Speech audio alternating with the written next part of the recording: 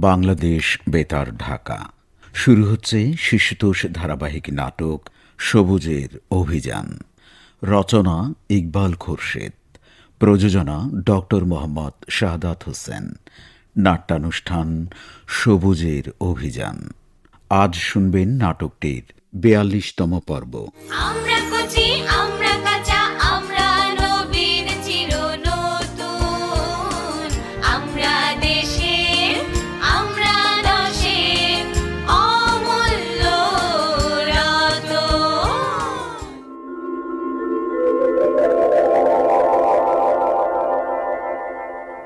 তাহলে তোমার বাবার নাম বলতে এত আপত্তি কেন? হয়েছে কি স্যার? আমার আব্বা হইল ইজ্জতলা লোক। গ্রামের বেবাকতে তারে এক নামে চিনে। আমি লেখাপড়া করি নাই। যখন যে কাম পাই হে কামই করি তাই করে খাই। এখন যেমন এই বিদেশি হাঁস ধরছি আর হাঁস বেশি এটা তো খুবই শরমের কথা। ঠিকই কইছেন স্যার? এটা একটু সরমেরই কথা।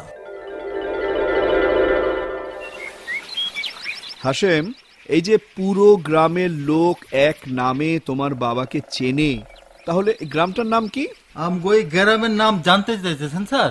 হুম। আমগো এই গ্রামের নাম হইল কুসুমপুর। বাহ বেশ সুন্দর নাম। কুসুমপুর। হুম দাও পাখি দুটো দাও। দেড় হাজারই দেওয়ান লাগবো স্যার।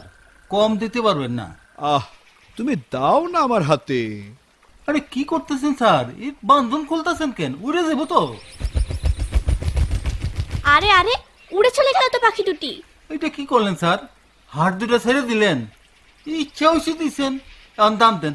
শোনো হাসেম এই যে হাঁস দুটি তুমি ধরে এনেছো এটা সম্পূর্ণ বেআইনি। এই পাখিদের বলে পরিযায়ী পাখি। অতিথি পাখিও বলে হাজার হাজার মাইল পাড়ি দিয়ে ওরা এখানে আসে জীবন বাঁচাতে। কিন্তু তোমার মতো কিছু অসাধু লোক এই পাখিগুলোকে বাঁচতে দেয় না। পরিযায়ী পাখি ধরা বিক্রি করা কেনা খাওয়া আইনত দণ্ডনীয় অপরাধ।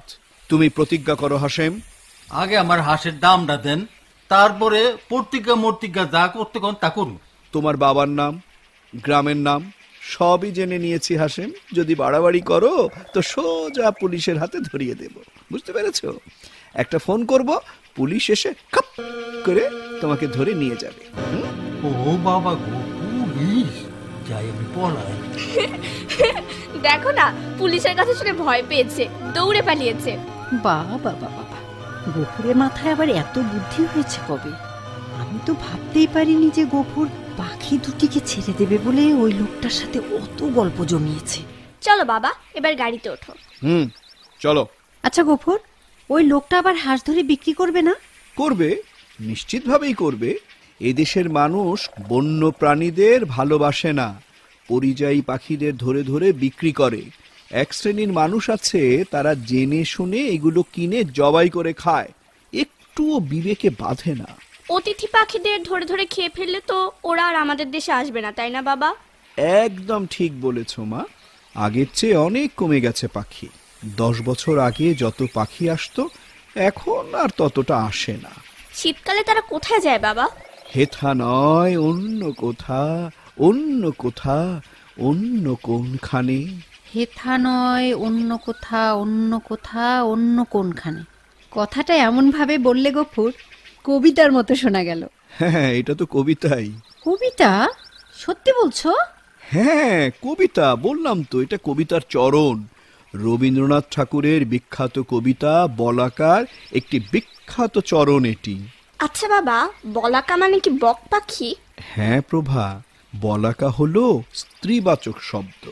এর পুরুষবাচক শব্দ হলো বলাক। বাবা তুমি বলাকা কবিতাটি জানো? জানি তো। কেন? বলো না বাবা। বলতে পারি কিন্তু তুমি এর কিছুই বুঝবে না যে প্রভা। কেন? কারণ এটা হচ্ছে বড়দের জন্য লেখা। তুমি যখন বড় হবে তখন বুঝতে পারবে। বলাকার কথা নেই কবিতায় আছে বলাকার কথাই আছে। না বুঝলে না বুঝব তুমি বলো। আহা মেয়েটি যখন শুনতে চাইছে মনে থাকলে শুনিয়ে দাও না একটু। আচ্ছা ঠিক আছে। তোমরা যখন শুনতেই চাইছো তখন বলছি তবে শেষের স্তবকটি বলছি হ্যাঁ? হে হংস বলাকা আজ রাত্রে মোর কাছে খুলে দিলে স্তব্ধতার ঢাকা। শুনিতেছি আমি এই নিঃশব্দের তলে, শূন্যে, জলে, স্থলে, অমনি পাখার শব্দ উদ্দাম চঞ্চল। তৃণদল, মাটির আকাশ পরে, ঝাপটিছে ডানা, মাটির আধার নিচে, কে জানে ঠিকানা? মেলিতেছে অঙ্কুরের পাখা, লক্ষ লক্ষ বীজের বলাকা। দেখিতেছি আমি আজি এই গিরিরাজি, এই বন চলিয়াছে উন্মুক্ত ডানায়। দ্বীপ হতে দ্বীপান্তরে, অজানা হইতে অজানায়। নক্ষত্রের পাখার স্পন্দনে, চমকিছে অন্ধকার আলোর ক্রন্দনে। শুনিলাম মানবের কত বাণী দলে দলে। অলক্ষিত পথে উড়ে চলে, অস্পষ্ট অতীত হতে অস্ফুট সুদূর যুগান্তরে। শুনিলাম আপন অন্তরে, অসংখ্য পাখির সাথে দিনে রাতে, এই বাসা ছাড়া পাখি ধায় আলো অন্ধকারে। কোন পার হতে কোন পারে ধনিয়া উঠিছে শূন্য নিখিলের পাথারে গানে। হেথা নয় অন্য কোথা অন্য কোথা অন্য কোনখানে। বাহ কি সুন্দর। মা তুমিও তালি বাজাও। সবুজের অভিযানে যুক্ত হয়ে তুমি একেবারে বদলে গেছো গোফর কেমন? লাইনের পর লাইন কবিতা মুখস্থ বলছো জ্ঞানের কথা বলছো। আগে তো এসবের ধারের কাছেও যেতে না। সবই ওই দাদু আর সবুজের অভিযানের কৃতিত্ব বুঝলে?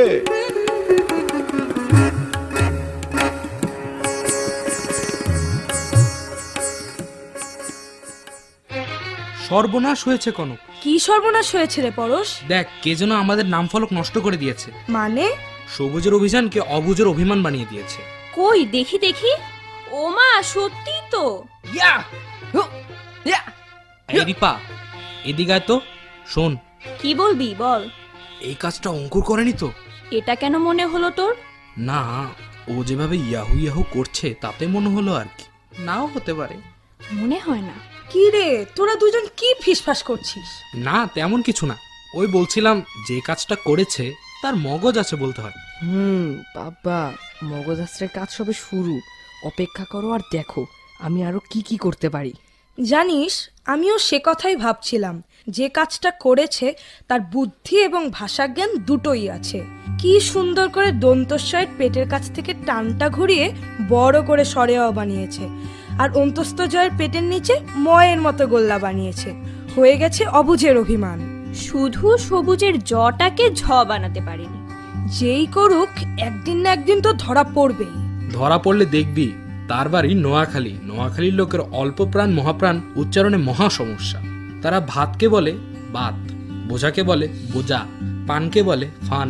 এই জন্যই অবুঝ লিখতে যে ঝ লাগে সেটাই ভুলে গেছিল। ইয়া! হু! ইয়া! এই অঙ্কুর! কেন ডাকছো রে বাবু? তুই দূরে দূরে থাকিস কেন? আমাদের কাছে কাছে থাকতে পারিস না? না তোমরা সবুজ অবুজ নিয়ে কি সব বলা বলি করছ? এসবে আমার আগ্রহ নেই। খাবার দাবার নিয়ে কথা বলো তাতে আমার ব্যাপক আগ্রহ। অত খাই খাই করিস না তো। তোর ওজন কমাতে হবে বুঝেছিস? তোর অন্তত তিরিশ কেজি ওজন কমানো দরকার। হায় হায় বলে কি? আছেই মাত্র বিরাশি কেজি। তার থেকে তিরিশ চলে গেলে থাকবে কত? মাত্র বাহান্ন। না না অত রোগা হওয়া যাবে না। লোকে দাম দেবে না। না রিপা আপু অত কমানো যাবে না। বড় জোর কেজি দুই কমাতে পারি। অঙ্কুর শোনো তুমি যে ওজন কমাতে চাও না ওই যে সেদিন কলতলায় চিৎপটাং হলে আমরা দুজন স্বাস্থ্যবান ছেলে ছিলাম বলে কোনো রকমের দম বন্ধ করে টলতে টলতে তোমাকে তুলে ঘরে নিলাম। এরকম যদি তুমি অন্য কোথাও পড়ে যাও লোকে তো তোমাকে তুলতেই পারবে না। তখন কি হবে বলো তো অত ভাবলে কি আর চলে? নন্দলালের মতো গাড়ি চাপা পড়ার ভয়ে ঘরে বসে থাকব নাকি? ও ব্যবস্থা ঠিকই হবে হয়ে যাবে। আরে অঙ্কুর তুমি নন্দলালকেও চিনে দেখছি। ও বেটাকে কে না চেনে এই তল্লাটে? কি নিয়ে কথা হচ্ছে তোমাদের। তেমন কিছু না দাদু। তেমন কিছু না বললেই হলো? এরা সবাই মিলে আমার ওজন কমাতে চাচ্ছে তিরিশ কেজি। আচ্ছা দাদু আপনিই বলুন তিরিশ কেজি ওজন কমিয়ে ফেললে মাত্র বান্ন কেজিতে আমাকে মানাবে? তুমি যদি সুমো রেসলার হতে চাও তাহলে মানাবে না মোটেই। তুমি কত কেজি ওজন রাখতে চাও? আশি কেজি অন্তত। এখন বিরাশি কেজি আছে তাই তো? জি দাদু। আপাতত তোমার ওজন কমানোর কোনো দরকারই নেই। তবে তুমি যদি মইবে উপরে উঠে কোনো দুষ্টামি করতে চাও তাহলে ওজন কমাতে হবে বই কি বুড়োটা বলে দেবে নাকি সবাইকে? আচ্ছা তোমাকে ওজন কমাতে কে বলেছে প্রথমে? ইয়া! হো রিবাপু রিপা তোমার বোন তো তাই ও তোমার কষ্টটা বুঝতে পেরেছে। শোনো অঙ্কুর আমি তোমাকে একটা কথা বলি। দুষ্টুমি করতে হলেও নিজের শরীরটা নিজের আয়ত্তে থাকতে হয়। অঙ্কুর তোমার মা কোথায়? আসেনি এখনও? ছোট খালার তো এতক্ষণে চলে আসার কথা দাদু। ও ওই যে বলতে না বলতেই চলে এসেছে। আহ, আমি খুবই দুঃখিত দাদু। একটু দেরি করে ফেললাম। না না দুঃখিত হওয়ার মতো কিছু এখনও করনি। আমি মাত্রই এসেছি। শুরু করব দাদু? হ্যাঁ তোমার ইচ্ছে। কথায় বলে শুভস্য শীঘ্রম। একদম ঠিক কথা বলেছ। শুভ কাজ তাড়াতাড়ি করাই ভালো। তা আমরা থাকতে পারি তো নাকি? কেন নয়? নিশ্চয়ই থাকবেন। বিশেষ করে আপনি তো থাকবেনই। আপনি দাদুর ছেলেবেলার বন্ধু। দাদুর কথা শুনতে শুনতে দেখবেন আপনারও কত স্মৃতি কত কথা মনে পড়ে গেছে। আমার সাদামাটা জীবন। ফিরোজের জীবনের মতো অত বর্ণাঢ্য জীবন নয়। হয়েছে হয়েছে। এবার থামো। আচ্ছা তুমি কি জানতে চাও ডালিয়া? বলো। দাদু আপনি যখন যুদ্ধে গিয়েছিলেন তখন আপনার বয়স কত ছিল? ওই যে হেলাল হাফিজের কবিতা আছে না? এখন যৌবন যার যুদ্ধে যাবার তার শ্রেষ্ঠ সময়। তখন আমি এক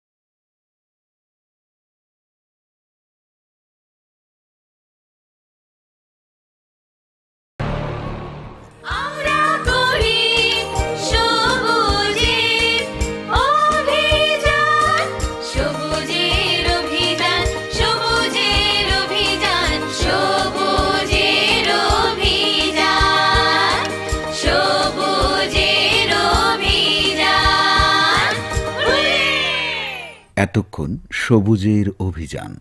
শিশুতোষ ধারাবাহিক নাটকের অভিনয় শুনলেন। আজ শুনলেন নাটকটির বেয়াল্লিশতম পর্ব।